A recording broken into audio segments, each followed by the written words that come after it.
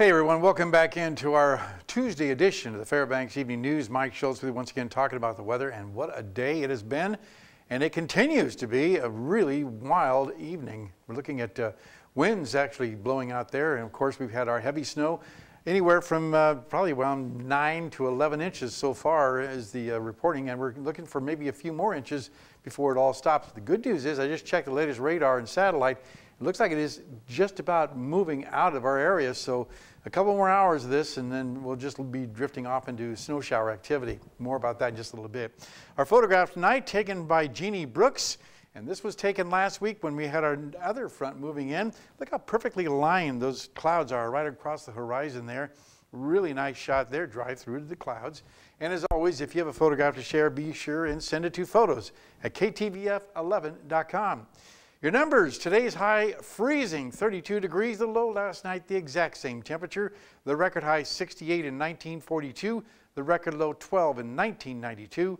And your sunrise and sunset 11 hours and 32 minutes, a loss of six minutes from yesterday. The winter storm warning is continuing through 6 a.m. tomorrow just to be safe.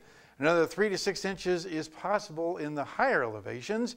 Expect low visibility and difficult travel, uh, travel conditions. And the biggest news is schools will be closed tomorrow because of poor driving conditions. So keep that in mind.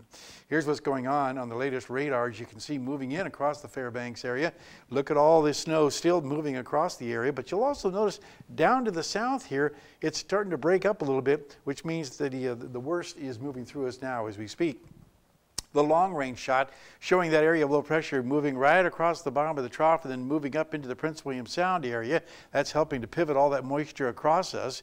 And it looks like that is starting to weaken. And as that does weaken, that'll be making a, lot less opportunity for more moisture to come in across the area. So we'll keep our fingers crossed on that. What else is going on across the rest of the state? Well, there's been raining like crazy over southeast Alaska. Flooding problems there. The good news is the rains are slowly coming to an end there. Across the Anchorage Bowl, they're getting ready for more rain and mixed rain and snow. Kodiak 37, sunny Uh, along the Aleutian chain 45 at Cold Bay.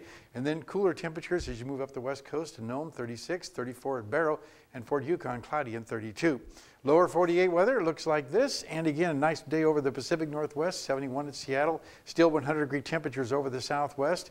Not too bad in Denver, 78. A little once again, a little cooler somewhat than it was yesterday in Dallas, but not by much. In Minneapolis at 63 degrees, very cool there. Over the eastern half of the country, lots of rain to talk about. Look at all this moisture moving across the, um, the northeast, bringing just incredible amounts of rainfall. And it looks like this for tomorrow. As you can see, this week uh, the rainfall could total as high as 10 inches in some areas with all that moisture coming in and more expected over the weekend with a new tropical system in the Atlantic Ocean. So the jet stream, once again, doing some wild things, all different dips and doodles here. Wherever you see a bottoming out is where they're going to get the most weather, and that's what's happening uh, right now as we speak. Okay, time once again for our kids' weather, and this week we're going to be visiting with the kids from Barnette Magnet School. And tonight, here's a young man with a cool story.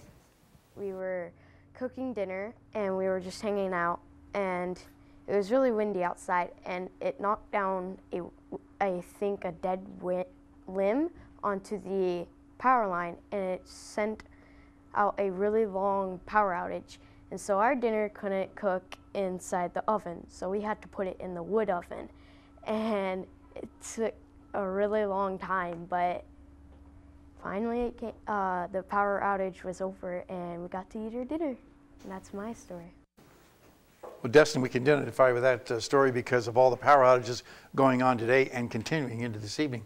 Again, thanks to Mount McKinley Bank for sponsoring our kids' weather. Tomorrow night, a young lady will be here to share her picture on the wind. All right, here's what's going on as far as, far as our forecast across uh, Alaska. Well, if we just go to our forecast locally and see that they're looking at tonight, uh, once again, more periods of snow right on through the evening with about uh, three to six inches additional accumulation expected. And tomorrow, cloudy skies with snow slowly tapering off about one to two inches expected there.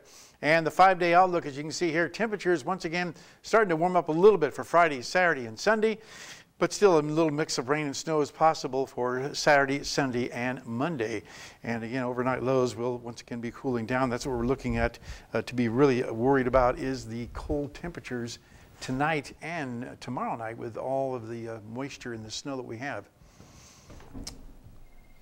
It's, it's not good out there right Yeah, now. yeah, yeah. and I- A lot of trees coming down today. Our scanner was going crazy today with trees falling left and right.